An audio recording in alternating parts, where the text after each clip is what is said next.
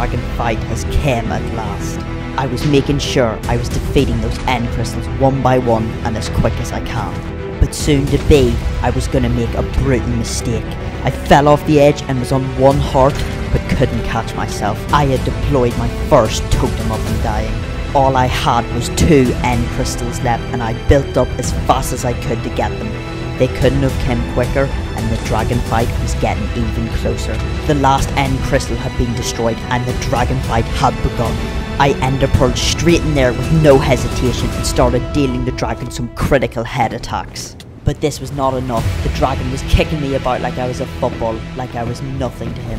With my food supplies running low, I knew I was in trouble. It was bad enough the dragon was attacking me, Endermen started forming out of nowhere. With half a heart and no food, I knew this was not going to be easy. One false move and I was a goner. This was going to be a tough one. I started to go all guns blazing attacking the Ender Dragon and I thought the fight was over. But no, the totem let me live another day. I knew I had one last chance to defeat him, and with one calculated hit, the fight was over. That was it. I had done it. I had defeated him. I couldn't believe it. I was a hero. Superman. I was a hero to my friends and my villagers. I collected all the XP to get a whopping 67 levels and jump back home.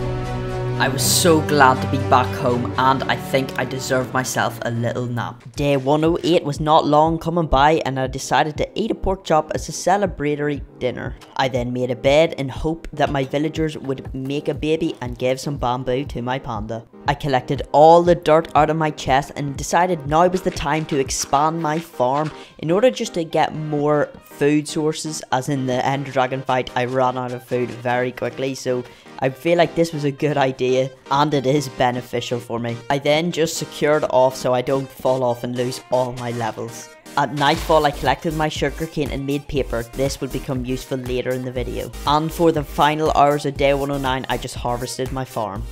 Day 110, I decided to make some extra bookshelf so we can get the enchantment table up and ready. And when I go to check on my villagers, I noticed that there was a baby villager lying on the bed. And the panda must have been protecting him.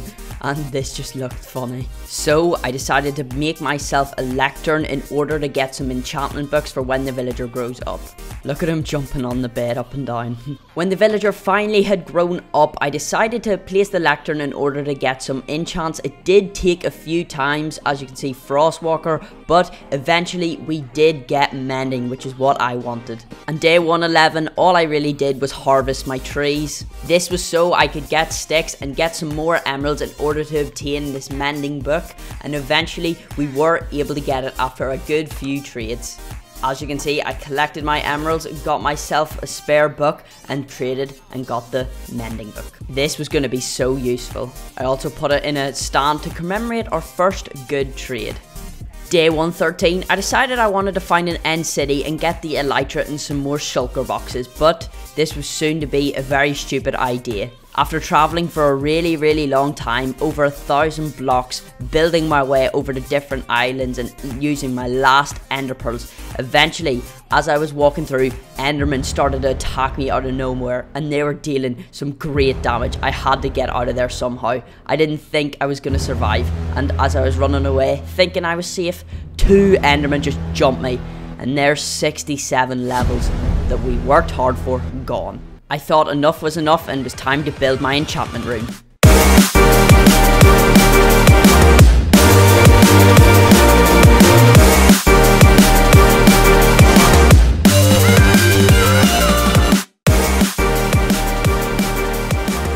Day 120, I placed my enchantment table and got all the bookshelves that I had and I placed them down. I was going to add to this later as I needed to collect all the resources. The rest of day 120 was just a maintenance day. All I did really was collect wood and harvest my farm. Not really much to it, but at least I got some food. And on the morning of day 121, I tended to my cows and look how many we've got now. And during the day, I realised I wanted to make a mob spawner, so I got all my resources together and decided to make it.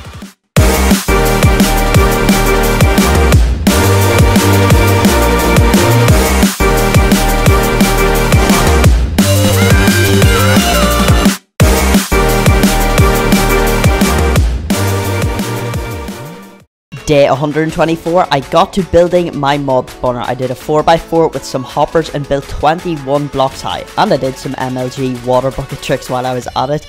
And as you can see, the tower was quite big. And then all of a sudden, a spider just started attacking me out of nowhere. I fell in this tribe of zombies and died. But I didn't really mind, even though there was five skeletons burning in my hut and started shooting me with arrows. I didn't really care. Then I decided to make the brave choice of running to get my items with all these mobs, but it was unfortunate, and we went back to fighting with the skeleton. It, with the wooden sword, it was surprisingly harder than I thought, but what can you do? I then just decided to repair the broken bits that the creepers had exploded on and place torches so the mobs would not spawn there anymore. I then got some arrows just so I could protect myself and then got back to building the mob spawner. This took me a lot longer than expected because I had limited resources and I had to keep building back up to the mob spawner and then breaking that structure down. But it was well worth it in the end as it was practically like an XP merchant. That's what it looked like from the distance. It was massive. And then I just had to keep using my cobblestone generator to get some cobble just to keep going as I had very very few resources and I had to change up the block at some points because I just didn't have enough and it was just taking too long. And I tried to MLG water bucket, but that failed. And then we were back using the cobblestone generator and I just got sick of mining so I just used these spare blocks I had which I really had no purpose for. And then back to the cobblestone generator and then finally it was starting to take shape. I was building the barriers on the outside and getting ready to build the roof. There I've got literally End City stone stuck in there but and then the roof is being put on and as you can see it works the jiffy. They don't die but they're all one hit but that, that I don't really mind because a wooden sword can take them all out. And then I tended to my cows. Look how many we've got. I also had to build back up to the mob spawner to fix something that was broken in it. So as I was mining through, if I can get through, a creeper came and I just jumped down to save myself and a skeleton came and shot me. But that didn't really dampen my spirits as I saw my iron golem somehow I got to the roof of my villager hut. So I just started to attack these mobs, you know, test out my bow accuracy, and I could tell you to say that I'm actually getting better. Look, I hit every shot there and the creeper's jumping and I timed it to perfection. So when day 140 came about, I decided to enchant my netherite pickaxe and oh my god, efficiency 5, fortune 3 and unbreaking 3.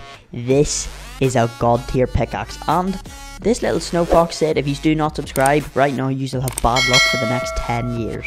So I went back and I was testing my bow accuracy again, and my accuracy is going up to 100%. Nah, I'm just kidding. I was trying to get to level 36, as you will see in the next day. These levels will come in handy as I was going to craft a diamond sword because I'd lost mine in the void, and uh, I was going to enchant my diamond sword armor and stuff like that. So I got smite 5 and fire aspect 2, which was pretty poop fire protection unbreaking 3, I think that's pretty poop, and fire protection unbreaking 3. So those three enchantments were pretty stinky for level 30 enchantments. So I went and made a lectern for my baby villager that had finally grown up and that first enchantment was poop. So I went to break the lectern and all of a sudden the lectern just, when I place it down, it disappears. Like, it's nowhere to be seen and this made me so angry literally using a resource but I logged back out of the game and then back in and then it appeared in my inventory again so it's obviously just a bug with the game and we managed to get sweeping edge which is what I wanted but unfortunately I could not afford this book but anyway, I decided to start to expand the villagers' home because they were getting quite cramped. I used some quartz and endstone just to make a nice little pattern design and then some wood to fill out the outside. And then I broke the glass just to make the entrance quicker and this was going to be one of my biggest mistakes yet.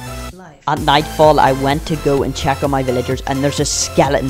So I look around and my villagers are nowhere to be seen. The skeleton had killed all of them. So I took my rage out all the mobs and I died again. It wasn't worth living without my villagers. But anyway, I decided to make a sugarcane farm.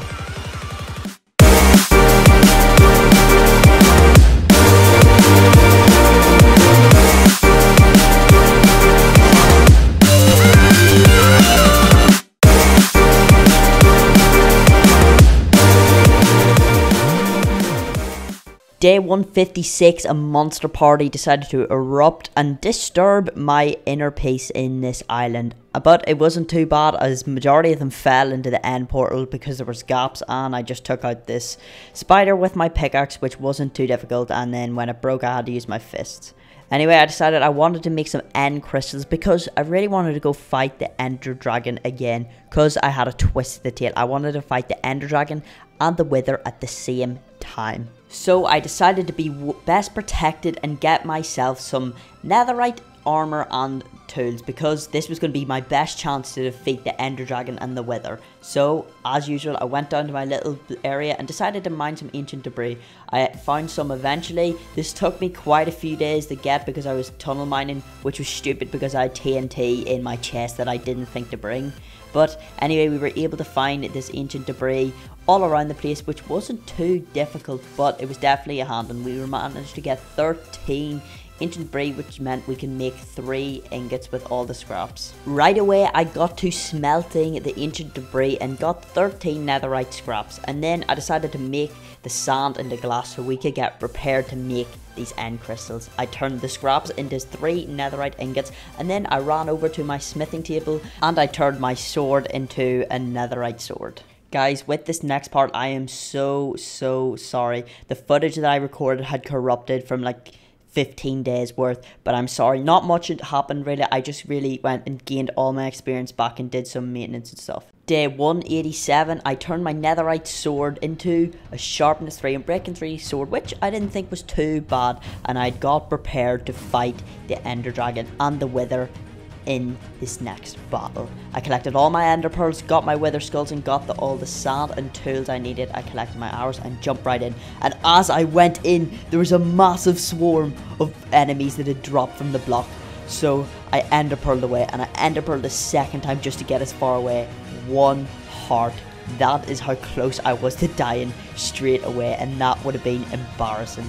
I climbed out of the little tunnel and I decided to collect myself some endstone in case I needed to barricade myself. Once I collected my endstone, I placed the end crystals one by one and I got ready to place the final crystal. The dragon was here. All those flares were not appealing to the eye as each one took each tower and then the dragon spawned. I knew this battle was not going to be as easy as the last. I built up and decided to break each crystal one by one. After I destroyed the second one, I realized I had arrows, so with my first shot, I was able to hit an end crystal. And then I was able to do damage to the dragon while shooting that other crystal. Each shot was being hit one by one, and I climbed up to the cages and was able to destroy the last couple of crystals. And with a very accurate bow shot, the last crystal was destroyed. I was ready to fight the Ender Dragon. I started to take calculated ticks and make sure that he was getting hit in the head for full damage. In the first stint of the battle, I was able to deal almost half the damage from the dragon. This was already going my way. I was taking some calculated bow shots from the ground and still swooping at his head any chance that I got. These hits were very critical. I needed to make sure I was getting them on point. I started shooting the dragon with my arrow and I was able to get a few good hits. And then the last time the dragon came out, I knew I wanted to finish this battle in style. So once I started hitting the dragon with some very nice solid hits to the head, and I wanted to finish this battle with a bow shot. And then with one swing of the bow, it was over. The Ender Dragon was defeated, but that was the least of my worries right now. I knew I had a whole other battle commencing in the next few moments. Once I grabbed my XP, I placed down the soul sand and I was getting ready for another war. The Witherheads were being placed one by one. And he was here. The Wither was here.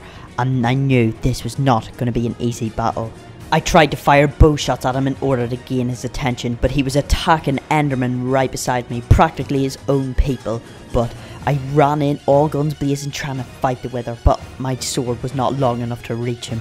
He started shooting at me with his little skulls, and I knew that I was in trouble. I tried to take some bow shots at him, but I accidentally hit an Enderman instead, so I ender pearled away, and I knew I was in trouble. It was bad enough that the wither was attacking me. Enderman started to deal some great damage to me. I knew that this was not a safe place. I had to run away and eat in order to regenerate my health, and I ran back into the battle fighting the wither. But these Endermen were just getting in my way. It was so annoying.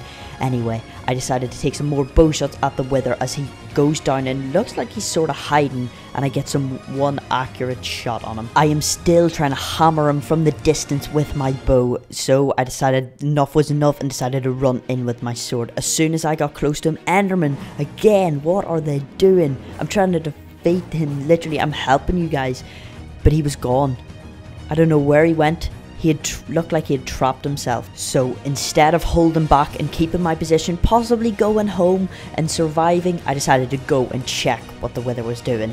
Curiosity got the better of me and I ran over to see where he was and he was underneath the little block over there. So I started to take bow shots from him but he was too far in. I decided to ender pearl myself over here and break a little block so I could attack him from above but my sword could not reach. And as soon as I broke an extra block, he came through and pushed me and just fell into the void, and I was unable to throw my ender pearl, and I died. This was a sad day. This was a day I did not want to remember. All my hard work and dedication that has taken me almost 200 days, all that time and effort had gone to waste. All the nether trips to get the debris. It was a sad time my panda decided to give me a hug to comfort me as I wasn't feeling at my best.